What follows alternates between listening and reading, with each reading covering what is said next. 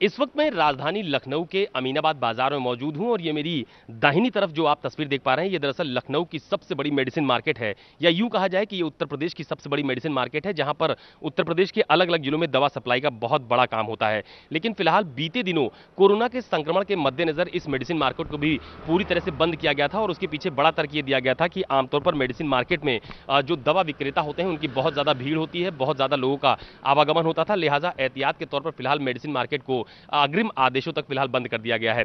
यहाँ पर जो इलाका है, उसको आप देखिए, पूरी तरह से सील किया गया है। हर जो मेडिसिन मार्केट का मेन एंट्री गेट है, वहाँ पर देखिए, पुलिसकर्मी आपको पूरी तरह से मुस्तैद नज़र आएँगे।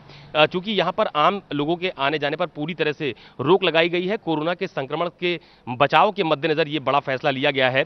पुलिसकर्मी पूरी तरह से मुस्तैद आपको नज़र आएँगे। जो सुरक्षाकर्मी है भी, वो पूरी तरह से मास्क का इस्तेमाल कर रहे हैं। तमाम सारे जो सुरक्षा के साधन है, उनका भी इस्तेमाल किया जा रहा है। लेकिन सबसे अहम बात यह है कि लखनऊ में अमीनाबाद जो बाज़ार है, मेडिसिन मार्केट, उसके बंद होने के बाद जो इनकी एसोसिएशन है, उसकी तरफ़ से ये मांग की गई है कि इस पूरे इलाके को सैनिटाइज कराया जाए। जो काम करने वाले कर्मचारी हैं यहाँ पर मेडिसिन मार्केट में, उनको सुरक्षा के तमाम सारे उपकरण मुहैया कराए जाए। लेकिन ताज़ा अपडेट इस पूरे मामले में ये है कि नया गाँव, जो कि इस अमीनाबाद मेडिसिन मार्केट के ठीक पीछे का इलाका है, वहाँ पर कोरोना संक्रमित एक मरीज़ मिलने के बाद चौकसी बहुत ज़्यादा तेज कर दी गई है, चूँकि नए गाँव के बहुत सारे लोग इस मेडिसिन मार्केट में काम करने आते थे, लिहाजा सुरक्षा के मद्देनजर इस पूरी मेडिसिन मार्केट को बंद किया गया है। आप देखिए कि यहाँ पर जो बल्लियाँ हैं, उसको लगाया गया है। सारी दुकानें आपको पूरी तरह से बंद नज़र आएँगी। हालाँकि शुरुआती दौर में यह कहा गया था कि जो मेडिसिन मार्केट है, उसका दूसरे तरह से संचालन किया जाएगा। लखनऊ का जो ट्रांसपोर्ट नगर इलाका है, वहाँ से दवाओं की सप्लाई का काम किया जाएगा।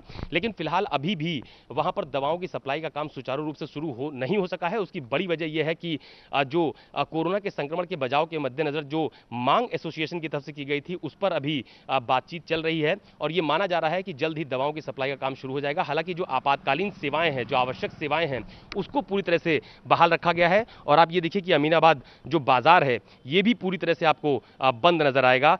सिर्फ़ सुरक्षाकर्मी आपको अपनी ड्यूटी करते हुए यहाँ पर तस्वीरों में दिखाई देंगे। तो फ़िलहाल ये बाज़ार पूरी तरह से बंद किया गया है। एसोसिएशन की ये मांग है कि इस पूरे इलाके को न सिर्फ़ सैनिटाइज कराया जाए, बल्कि जो काम करने वाले लोग हैं, उनको सुरक्षा के तमाम सारे जो उपकरण हैं, वो भी उपलब्ध कराए जाए।